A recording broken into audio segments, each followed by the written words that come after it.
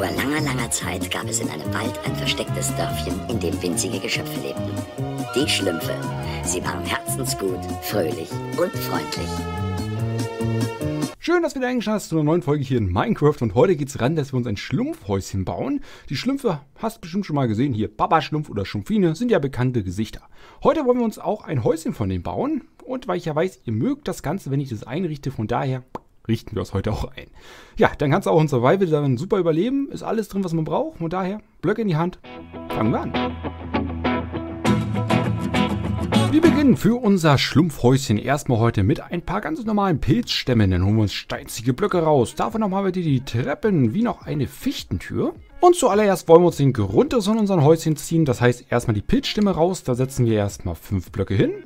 Jeweils immer an der Seite ein. Dann kommt wieder unser Fünfer. Und das ist an sich, sage ich mal, unser Grundmaß für unser Pilzhäuschen, sobald wir das haben. Ziehen wir das natürlich einmal so ringsrum. Und dann wollen wir auf unseren Fünfer Flächen insgesamt nochmal zwei weitere Blöcke einmal raufsetzen und oben einen Zipfel rauf. So, das machen wir hier einmal auf jeder Seite. Bei dem Fünfer einfach hier zweimal so ein Dreier in der Mitte. Zack, Zipfel rauf und fertig. Sobald wir das denn hier auf jeder Seite haben, wollen wir natürlich noch die Seiten zuziehen. Da setzen wir einmal hier in der Mitte bei den Einer einen rauf. Und dann gehen wir einfach zur Seite, zack, zack, zack und ziehen das hier einfach so lang. Hier oben hinter den Einer können wir das auch ruhig lang ziehen. Und auf der anderen Seite eigentlich genau das gleiche Spiel. Ja, das ist nicht kompliziert, das ist ganz simpel. Zack, hier einfach ran, zack, zack, zack. Und dann können wir hier das einmal langziehen bis zur anderen Seite. So, bei mir nur noch hier die Vorderseite. Ganz simpel können wir uns das hier einfach mal zuziehen. Zack, wunderbar. So, sobald wir das Ganze haben, wollen wir jetzt auch unsere Tür basteln. Von jetzt an kannst du dir immer noch sagen, auf welcher Seite sollst du, soll die Tür sich äh, befinden. Ja, das ist jetzt eigentlich relativ noch offen. So, ich würde mal natürlich hier sagen, wo ich mir immer einen Weg habe, kommt ja dann auch meine Tür hin. Von daher nehme ich meine Steinziegelblöcke und schlag mal hier vorne dieses 3x3-Feld einfach mal weg. Setzt mal an den Seiten dann einfach mal zweimal hier, würde ich mal sagen, einfach mal meine Steinziegelblöcke hin. Da dann einfach nochmal zwei Treppen so zur Seite weg und eine umgedrehte in der Mitte hin. So, da können wir natürlich einmal unsere Tür reinsetzen. Und was fällt uns auf? Wir haben ja an der Seite jetzt so Treppen gemacht, damit der Eingang natürlich so ein bisschen abgerundet ist oben. Ne? Das heißt, wir müssen mal auf die Innenseite fliegen und hier einfach oben in der Ecke nochmal zwei weitere Pilzstämme uns einmal hinsetzen, damit das natürlich von außen nicht mehr zu sehen ist. Sobald wir das haben, können wir diese Blöcke einmal wegtun. Denn jetzt fangen wir an, auch oben den Pilz raufzusetzen. Das heißt, wir nehmen mal ein bisschen ja, hellblauen Beton. Das ist jetzt, sage ich, von mir die Pilzfarbe. Du kannst jetzt jede Farbe nehmen, die du möchtest. Soll dein Pilz rot sein? Soll der gelb sein? Soll der grün sein? Soll der pink sein? Kannst du dir aussuchen. Danach wollen wir natürlich noch so weiße Flecken auf dem Pilz machen. Ich empfehle dir einfach mal glatten Quarz, weil der glatte Quarz, da gibt es ja die Treppen und Stufen, hast du nicht gesehen. Und die sind ja perfekt, sag ich mal, miteinander zu verbinden, ne? ohne dass man da großartig sieht, ey, das hat irgendwelche, äh, sag ich mal, Strukturen drin zu erkennen. Hat es ja nicht. Das ist ja in ein. Von daher empfehle ich dir das einfach mal für die Pilze. Du kannst dich auch gerne ein bisschen ausprobieren mit anderen Treppen und so von der Farbe her. Vielleicht gefällt dir noch was anderes besser, ne? Aber sonst empfehle ich dir das. So, weil ich natürlich jetzt hier einen roten und einen gelben schon habe, nehme ich mal als Farbe einfach mal den hellblauen Beton. So, und dann wollen wir auch noch gleich anfangen, unseren Schornstein uns reinzubasteln. Von daher nehmen wir auch noch gleich ein bisschen Bruchstein zur Hand. Zuallererst geht es mit unserem Beton ran. Da wollen wir uns erstmal einen Kreis lang ziehen. Der Kreis hat ein Maß von 5 Blöcke erstmal an den Seiten und dann gehen wir schräg zur Seite weg, jeweils hier zwei Blöcke. Und dann kommt wieder hier, sage ich mal, unser Fünfer und dann können wir wieder zwei Einer jeweils hier zur Seite einmal gehen. Ne? Und das ist an sich so das Maß von unserem Kreis, was wir hier haben. Das ziehen wir hier einmal wie immer erstmal lang. Und sobald wir unseren Kreis dann hier einmal rumgesetzt haben, könnt ihr alles, was jetzt, sage ich mal, hier unten noch so frei ist, ne, wo man, sage ich mal, so Luft hat, da liegen wir einfach nochmal hier, würde ich mal sagen, eine blaue Betonschicht hin. Ach komm, da können wir hier gleich alles gerade ja mal zuziehen. Wunderbar. So. Wunderbar.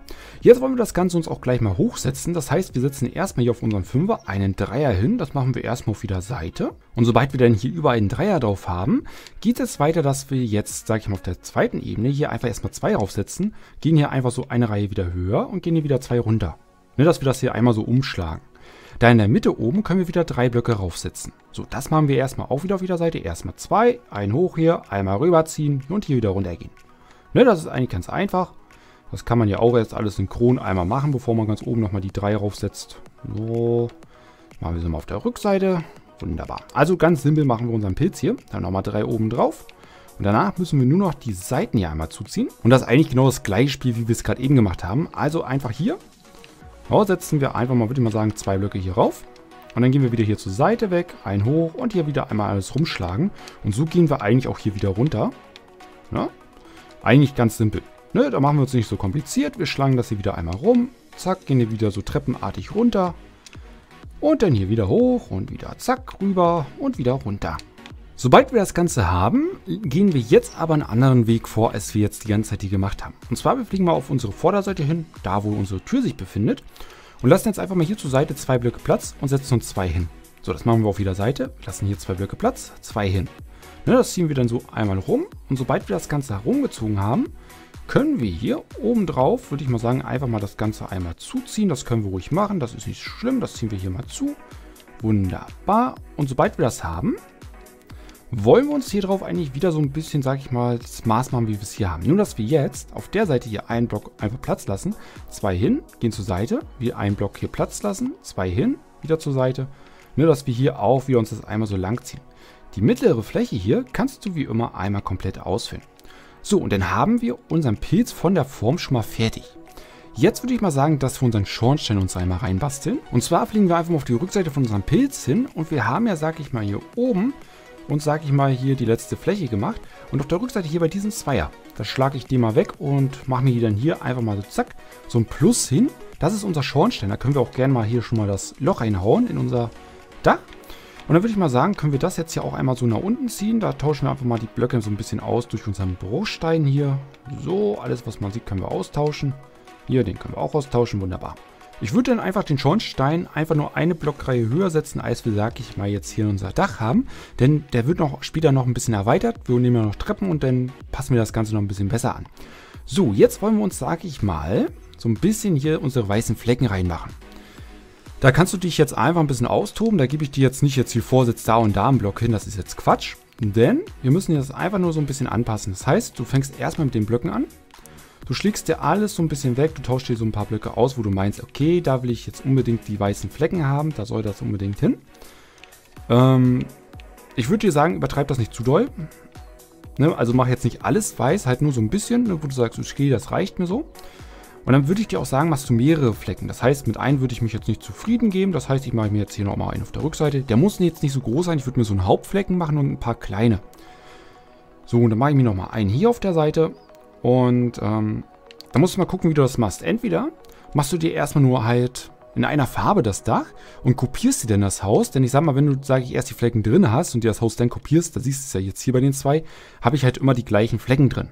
Ne, das ist ein bisschen alles zu doll gleich. Also würde ich dir eigentlich empfehlen, wenn du dir so ein richtiges Schlumpfdorf basteln willst, dass du dir erstmal in einer Farbe das Dach machst und dir das dann kopierst und im Nachhinein, wenn das Haus komplett fertig ist, dann die Flecken reinbaust.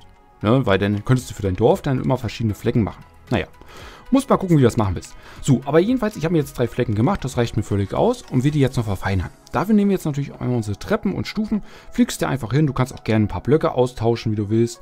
Und setze ich mir einfach ein paar Treppen hin und Stufen einfach noch dazu. Das würde ich auch oben einmal auf der Spitze dir empfehlen, dass du dir einfach hier so, zack, einfach nochmal so ein paar Stufen hinsetzt, weil dadurch spitzt sich unser Dach auch noch ein bisschen zu und sieht halt einfach richtig cool aus. Also wie so ein Pilz halt, ne? So, dann mache ich mir hier noch was hin, da was hin, da setze ich mir noch eine Treppe hin, lasse die vielleicht auch mal so anecken, ne? Kann man ja machen. Warum nicht? Und ich finde, das sieht immer noch cool aus. So, das reicht mir eigentlich schon auf der Vorderseite.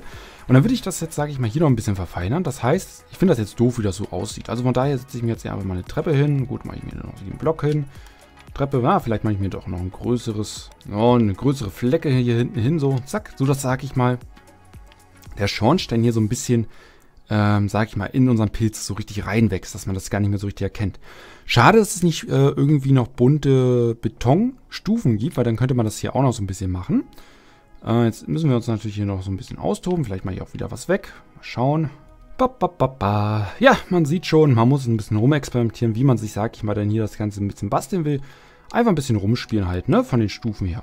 Ja, kann man sich auch gut gern Zeit lassen. Naja, man kann da ein bisschen rumspielen. So, ja, das kann man immer noch im Nachhinein machen. Jetzt würde ich mal sagen, kommen wir ein bisschen zu den Feinheiten. Für die Feinheiten von unserem Schlumpfhäuschen brauchen wir ein bisschen abgezogene Fichtenholzstämme. Also die, wo ihr keine Rinde habt und auch keine Jahresringe. Dann haben wir so ein bisschen die Fichtenholztreppen davon, die Stufen, die Falltüren und ein paar normale Eichenfalltüren. Kannst auch gerne andere nehmen, muss mal gucken, was dir da so gefällt. Und ein bisschen Bruchstein. Ich komme jetzt erstmal zum Bruchstein. Den möchte ich mir eigentlich nur da verwenden, für um auf unseren Schornstein oben noch die Treppen hinzumachen und so ein ist der Schornstein von außen schon mal so fertig. Wir bearbeiten ihn später noch im Haus. Und apropos im Haus, da wollen wir uns jetzt auch gleich mal noch ein paar Fenster reinhauen. Wir fangen unten auf unserem Schlumpfhaus an. Es befinden sich, würde ich mal sagen, bei mir jetzt hier zwei Fenster an den Seiten hin. Man kann sich auch gerne mehr Fenster machen, wenn man möchte. Ne? Wenn du sagst, okay, ich will jetzt hier auf der Seite eins haben, auf der Rückseite eins haben und auf der anderen Seite eins haben, kannst du dir auch natürlich drei machen. Ich mache mir jetzt insgesamt nur zwei auf den Seiten hin. An den Seiten natürlich die Falltüren. Man kann, wie gesagt, auch hinten gerne eins machen, aber wir richten uns das nur ein und ich denke mal, zum Einrichten wäre halt irgendwie schön eine Wand zu haben, wo man auch was platzieren kann, als wenn man überall die Fenster hat. Ne? Und daher würde ich das so machen. Die Fenster würde ich noch bestücken mit einfach ein paar Stufen. Weil dadurch kommen dann auch, sage ich mal, keine Monster in euer Haus rein. Das ist dann komplett safe. Hier passt nichts durch. Und ihr könntet euch vielleicht auch noch so ein paar Schlumpfbeerensträucher euch vorm Fenster platzieren. Das heißt, wenn doch mal so ein Zombie kommen sollte, dann hängt er sich hier fest und äh, fügt sich noch Damage zu. Ne? Das wäre ja auch cool. Ja, dann äh, gibt es jetzt auch natürlich im Spiel Schlumpfbären, ne? so, auf der anderen Seite natürlich auch noch die Stufen hin. Und dann wollen wir die Stufen noch verwenden, um so ein bisschen, sag ich mal, unser Pilz da abzustützen. Das heißt, wir setzen hier an den Seiten jeweils immer zwei Stufen hin und lassen dazwischen immer so quasi einen Block Platz und setzen hier einfach wieder so eine Stufe hin. Dadurch stützen wir das Ganze hier einmal ab. Oh, das ziehen wir hier auch wieder einmal lang. Und dann wollen wir uns nun oben ein weiteres Fenster uns einmal platzieren. Das kannst du dir auch wieder so verteilen, auf welcher Seite du möchtest. Ne, entweder auf der Seite oder auf der Seite hier. Ich baue mir das jetzt einfach mal auf diese Seite rein. Das heißt einfach, ich nehme meine Stämme und platziere mich hier an der Seite. Zwei Stück davon und zwei Stück auf der Seite. So, die Mitte hier können wir einmal frei hauen. Ah, hier drin können wir auch einmal frei hauen, das macht nichts. So, dazwischen platziere ich mir einfach mal zwei Stufen. Und auf meinen Baumstämm platziere ich mir einmal so eine, einfach so eine Treppe und eine, ah nee, halt, hier machen wir uns so eine Treppe hin und auf dem Baumstamm so eine, die so aneckt. Genau, nicht, dass ich euch das hier andersrum erkläre. So, dann machen wir halt nochmal hier vier Treppen oben drauf. Und nochmal eine Falltür hier hin. Einfach oben so als Spitze. Natürlich können wir jetzt hier drunter natürlich das einmal so austauschen und einmal hier, zack, so eine ja, oder machen wir einen Block hin, machen wir einen Block hin. So, und dann haben wir eigentlich auch dieses Material komplett verbaut. Jetzt haben wir unser Schlumpfhäuschen an sich schon fertig. Jetzt wollen wir es natürlich noch einrichten. Das heißt einfach, wir nehmen uns mal ein paar, paar äh, Tropenholztreppen, Stufen, Falltüren, dann noch ein bisschen Fichtenzaun, nochmal die Stufen davon und nochmal die Treppen, die wir ja so ein bisschen schon gerade eben hatten. Holen uns noch den Eichenholzstufen raus, dann ein paar schöne Trichter und ein paar, na, wo kann ich es platzieren, wo kann ich es platzieren, wo kann ich es platzieren? Hier, einfach ein paar Laternen. Die holen wir uns auch noch raus. So, dann begeben wir uns mal in unsere Schlumpfhütte und wollen uns die jetzt natürlich noch einmal einrichten. Zuallererst müssen wir noch mal eine Stufe hier mal wegpacken. Ich packe jetzt einfach mal kurz die Eichenholzstufe hier mal weg und nehme noch mal kurz den Pilzstamm. Denn unten wollen wir uns natürlich noch, auch noch die Wände ein bisschen ziehen. Das heißt einfach, ich ähm, platziere mir jetzt hier einfach mal meine Pilzstämme mal an den Seiten so, dass ich immer noch so eine 3x3 Fläche habe. Oh, das mache ich hier einfach mal auf jeder Seite, ne, dass wir die auch ein bisschen so einrichten können. Und auf der Vorderseite bei der Tür ich das Ganze auch nochmal so ein bisschen leicht verstärken. Und über der Tür setze ich mir einfach noch eine Treppe hin, weil ich finde, das sieht immer schöner aus, wenn man darüber noch eine Treppe sich einfach platziert. Dann wirkt das Ganze doch ein bisschen größer. Und dann würde ich mal sagen, erhöhen wir das Ganze mal hier um noch eine weitere Reihe. Einfach hier überall nochmal eine weitere Pilzstammreihe mal raufsetzen. An den Seiten, wunderbar. Und dann können wir jetzt schon die Decke uns einmal reinziehen. Das heißt einfach mal jetzt hier oben bei der letzten Pilzstammreihe setzen wir einfach mal unsere Stufen hier hin. Und jetzt schnappe ich mir jetzt nochmal hier kurz meine Eichenholzstufe, denn die wollen wir gleich mal darauf platzieren. So, erstmal Decke ziehen und dann können wir hier oben, sage ich mal, die Fläche hier einmal komplett so, zack, schön mit unseren Stufen ausfüllen. Und da fällt dir dann auch gleich auf, was du, sage ich mal, noch ein bisschen zuziehen kannst mit unserem Pilzdach. Das siehst du ja schon an den Seiten. Überall, wo du Lücken hast und so, kannst natürlich auch gerne irgendwelche Nutzblöcke dir reinbasteln, ne? in solche Lücken. Kannst du Werkbänke und sowas dir verstauen. Oder du sagst, will ich nicht. Dann machst du dir einfach hier deine, ähm, ja, deinen Pilz hier einfach mal ein bisschen überall rein. Ne? Bei mir ist jetzt hier der blaue Beton. So, und dann haben wir das hier alles so verkleidet. Den Rest kannst du dir eigentlich so lassen, weil dann kannst du die Flächen immer nutzen noch zum ähm, Einrichten. Ne? Da würde ich jetzt nicht unbedingt das hier so doppelt zubauen. Da kannst du ja immer noch was platzieren. So, ich befinde mich jetzt erstmal wieder unten und würde mal sagen, hier würde ich mir gern noch mh, mm, eine Lichtquelle machen. Das heißt einfach, ich suche mir mal hier so ein bisschen die Mitte raus. Die Mitte befindet sich hier und setze hier einfach mal eine Lichtquelle hin. So, nachdem wir auch ein bisschen Licht hier in der Bude haben, können wir das Ganze jetzt auch noch mal so machen, dass wir auch nach oben kommen. Das heißt, wir nehmen uns mal unsere Tropenholztreppe und würde mal sagen, die platzieren wir jetzt da nicht genau in der Mitte des Raumes, sondern einfach, wenn ich jetzt hier vom Fenster einmal ausgehe, so zwei Blöcke zur Seite mal freilassen, Treppe hin. Dahinter könnt ihr eine Stufe setzen, dann nochmal eine Treppe rauf. Denn hier zur Seite einmal so eine Treppe. Und dann können wir schon mal so ein bisschen unseren Zaun nehmen und einfach mal drei Stück da einmal platzieren. Darauf kannst du dann auch wieder einfach hier so eine Treppe setzen. Und jetzt fällt dir auf, wir müssen hier schon mal langsam ein bisschen was weghauen. Weil sonst kommen wir hier nicht nach oben. So. Und dann nochmal hier zur Seite würde ich nochmal was setzen. Ja, darunter würde ich mal eine Falltür setzen. Darauf dann die Treppe und dann sind wir schon oben. Sobald ich, sage ich mal, unseren Weg nach oben uns so geebnet haben, können wir jetzt oben, würde ich mal sagen, auch noch gleich uns eine Lichtquelle reinsetzen. Einfach mal oben die Mitte suchen.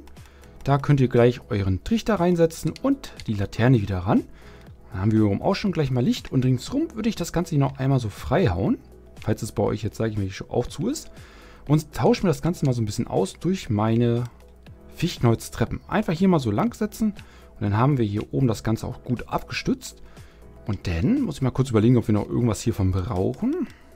Hm, nee, von diesem ganzen Material braucht man nichts. Man könnte höchstens doch vielleicht hier, sage ich mal, von seiner Treppe, was hier so abgestützt wird mit dem Zaun, noch einmal in der Mitte hier so austauschen durch ein Eisengitter. Finde ich gar nicht mal so schlecht. Sieht optisch gut aus, kann man ja ruhig machen. So, eine Sache bleibt noch und zwar müssen wir unseren Schornstein uns noch basteln. Das heißt, wir holen uns mal ein paar Steinziegelblöcke raus. Davon die Treppen und Stufen sind dabei. Dann holen wir uns noch ein paar glatte Steinstufen raus. Denn ein Lagerfeuer. Nimm jetzt das normale oder das blaue Lagerfeuer, wie du willst. Und dann holen wir uns noch ein Heuballen raus. Denn durch Heuballen, ne, sag mal hier, machen wir erstmal normales Lagerfeuer. Das qualmt halt so nur ein bisschen.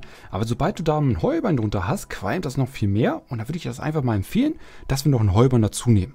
Muss man aber nicht, kann man machen. Ne? Du siehst schon, das qualmt schon viel höher. So, wir gehen einmal nach oben in unser zweites Stockwerk, denn hier möchte ich mir gerne mein Lagerplatz, also mein Lagerfeuer einmal platzieren. Den Heuballen kann ich mir gerne schon mal in den Boden setzen, darauf dann mein Lagerfeuer. Und linksrum wollen wir jetzt, sage ich mal, hier, würde ich mal sagen, an den Seiten hier schon mal zweimal hier so ein Steinziegelblock platzieren. Da unten würde ich mal sagen, einfach mal hier so eine Treppe setzen wir uns hin. Davor setze ich mir einfach hier noch meine Steinstufen hin. Hier mache ich mir das Ganze mal so lieber zum Block. Ja, sieht auch nicht schlecht aus. Und dann würde ich sagen, mh, hm, tausche ich mir hier nochmal ein bisschen was aus. Und zwar durch einfach mal meine steinziege Blöcke. Und da müssen wir dann vielleicht draußen das da auch nochmal ein bisschen verfeinern. So, hier setzen wir dann einfach mal meine Stufe und Treppe hin, um das Ganze anzupassen. Und dann ist eigentlich hier schon unsere Lagerfeuerquelle fertig. Du kannst auch gerne hier an der Seite auch Blöcke hinmachen, wenn du das schöner findest. Aber ich finde, irgendwie mit Treppen wirkt das Ganze doch auch nicht schlecht. So, und dann würde ich mal sagen, gehen wir nochmal kurz raus und passen mal kurz das Dach an, was ich gerade eben gesehen habe. Und falls es bei dir dann auch so sein sollte, dass man ähm, hier vielleicht, sage ich mal, jetzt den anderen Block sieht, dann machst du einfach so mit deinen Treppen hier draußen, dass man das gar nicht sieht. Ne? Kann man ja auch machen. So, dann haben wir unser Pilzhäuschen schon fertig. Eine Sache fehlt natürlich jetzt nur noch das Ganze optisch schön gestalten, wie man das, sage ich mal, hier noch so ein bisschen machen kann. Zum Beispiel vielleicht so eine Papa-Schlumpf-Art, wie du das hier machen kannst. Natürlich würde ich mir unten einfach das Bett so ein bisschen hinmachen, so ein paar Bücherregale, ne, so Papa-Schlumpf-mäßig, wie er wieder Zaubertränke und sowas sich hier ein bisschen herstellt. Kannst du vielleicht auch so einen kleinen Küchenbereich hier machen, ne, mit einer kleinen Wasserquelle. Ein Ofen sollte drin sein. Oder vielleicht auch, oder mehr hier so ein Erfinderschlumpf oder Bastelschlumpf, ne, wo du, sag ich mal, hier so ein bisschen dir was schmieden kannst unten, ne, hast dann die ganzen Öfen und Werkbänke hier. Und dann ist natürlich die Frage, wie du es dir nach oben gestalten kannst. Zum Beispiel jetzt hier bei denen, der mehr bastelt, habe ich mir noch eine Rüstung hingemacht. Natürlich noch ein paar Werkbänke, Schleifsteine, was man hier machen kann.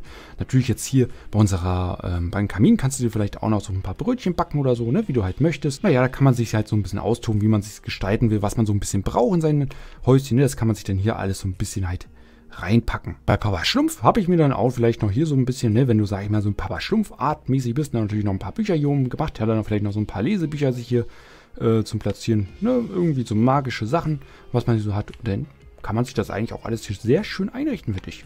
Ne, Licht haben wir auch. Wunderbar. Nun haben wir unser Schlumpfhäuschen uns gebastelt, müssen wir natürlich nur einrichten. Kannst du natürlich davon noch mehrere bauen, um dir dann dein ganzes Dorf natürlich noch zu platzieren. Und falls du jetzt Interesse hast an Schlümpfe, ne, um dir sowas zu basteln, würde ich sogar vielleicht bei, würde ich mal sagen, 30 Likes eine eigene große Schlumpfburg für euch bauen, sogar noch mit Innenausbau, dass man die auch wirklich benutzen kann. Dafür würde ich mir auch, glaube ich, mal eine Woche Zeit nehmen, um die so euch richtig zu entwerfen. Die Baupläne so habe ich schon. Ja, ich habe mir da schon eine rausgesucht, falls wir das schaffen sollten. Andernfalls wird es noch definitiv von Gargamel sein Häuschen geben. Davor könnt ihr euch nicht drücken. Falls es jetzt schon gebaut ist, würdest du es schon jetzt zum Ende des Videos denn sehen bei der Verlinkung. Ansonsten bedanke ich mich wie immer erstmal wieder fürs Zusehen. Wünsche viel Spaß beim Nachbauen und dann hören wir oder sehen uns zur nächsten Folge wieder. Also haust rein und tschüss.